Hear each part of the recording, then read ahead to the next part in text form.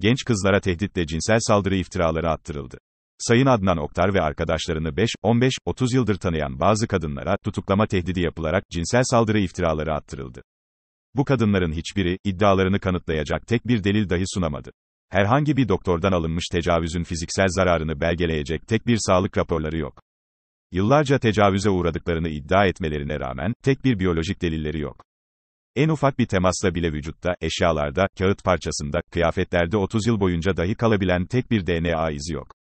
Dava öncesinde, yıllarca, ailelerinin yanında kalmalarına ve geniş bir sosyal çevreye sahip olmalarına rağmen, tek bir şikayetleri yok, istedikleri bir yardım yok. Hepsinin elinde akıllı telefonları varken, çektikleri tek bir fotoğraf yok. Bu kadınların hiçbirinde, gerçek bir tecavüzde mutlaka görülen, travma sonrası stres bozukluğu yok.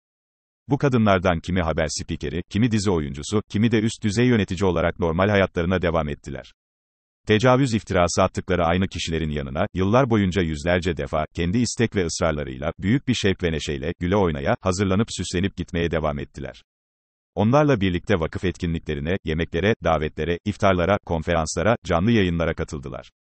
Bu etkinliklerden, kahkahalarını ve neşelerini gösteren yüzlerce fotoğrafı, sevgi ifadeleri eşliğinde sosyal medya hesaplarında paylaştılar. Mahkeme tarafından adli tıbba sevk edilenlere, tecavüz yok raporu verildi. Çünkü hiçbir cinsel saldırıya maruz kalmadılar. Sadece saygı ve sevgi gördüler.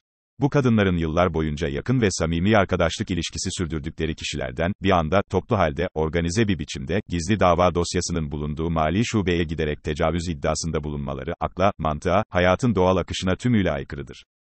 Üstelik verdikleri ifadelerde 4000'den fazla çelişki bulunması da anlattıklarının tümüyle uydurma ve iftira olduğunu ispatlamaktadır.